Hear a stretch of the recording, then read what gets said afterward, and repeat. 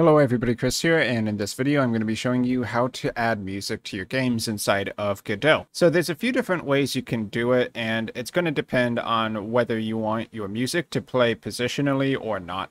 So if it's non-positional, that means it's going to be playing at the same audio, regardless of where your character, or more specifically, the camera that follows your character, happens to be pointed at in your game. And then the other is positional audio, where the audio volume will depend on how close the camera is to the object which is playing the music. So the first option is really simple. I'm going to right click in my level scene and choose add a child node. Then you're going to be searching for audio. So you'll see audio stream player, audio stream player 2D, and then 3D. 3D, of course, just being used for a 3D game. So let's use a audio stream player, create.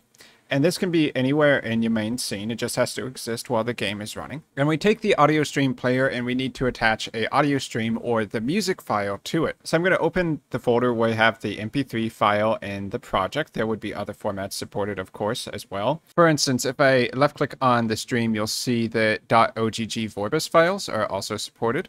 So let's just go ahead and drag this MP3 file over to the audio stream and attach it here.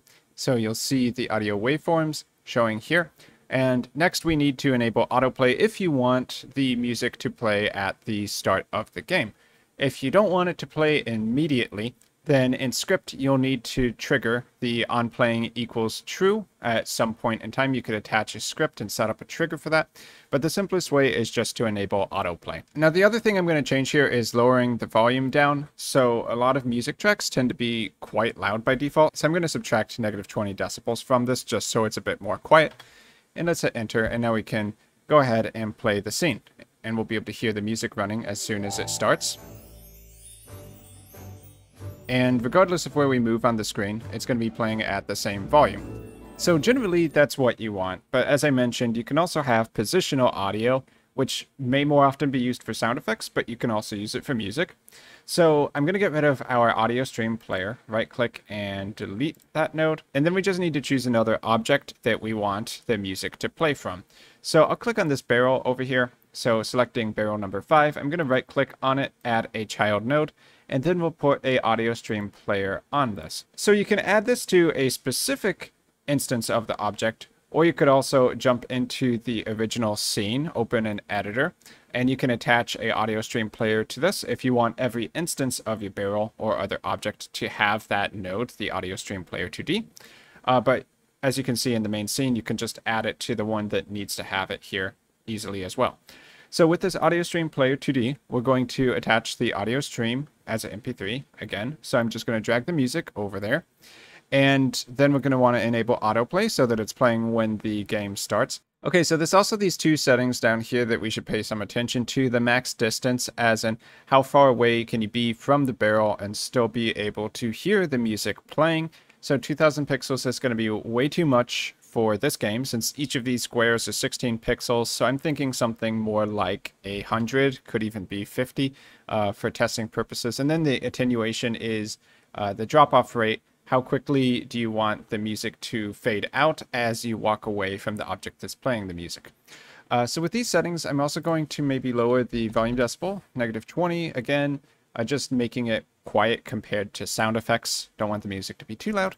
And let's go ahead and hit play and test it out. So when we hit play, we can hear the music a little bit in the background, or you should be able to, but let's move closer to the barrel. And when we're standing right next to it, it's going to play basically at full volume. Now let's move way far away from it, 100 pixels or more, and you can't hear it at all, but if we move closer to it, you can hear it again. So that's the whole idea of positional audio. You'd only be able to hear things that you're actually close to. So now if you wanted to move that audio source around the screen, we simply need to select the barrel I'm going to hold Alt down and move this to a different location. And we can also duplicate the audio stream player and have two objects playing the same music. So I'm going to Control D this audio player and let's select this barrel, move it down here. I'm just going to move this audio player onto the barrel, just drag and drop. Okay, there we go. And let's go ahead and hit play and test it out. So initially we can't hear anything because we're not close enough. Let's go to this barrel Ah, okay, something went wrong. Let's uh, click on the audio stream player. Ah, so the problem here is that the uh, audio stream player's transform is offset from the barrel, so we actually need to expand the transform and reset that. Okay, now it's back to here. Uh, just be careful about that. Each node can have their own position on the screen. So even if it inherits the base position from the barrel, it can still be offset by its own transform. So let's hit play again and uh, make sure everything's working. Let's move to that bottom left barrel. Okay, and this time we can hear the music when we get close to it. And let's go to the top right. And there we go. So we have two objects that are playing the music.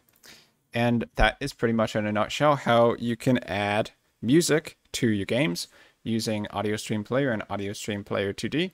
The process for doing sound effects would be quite simple as well. You just need to have them play as a one-off thing where when an event happens, you set the stream player to playing, and then you just don't have it loop. You only have it play the sound effect whenever those events happen.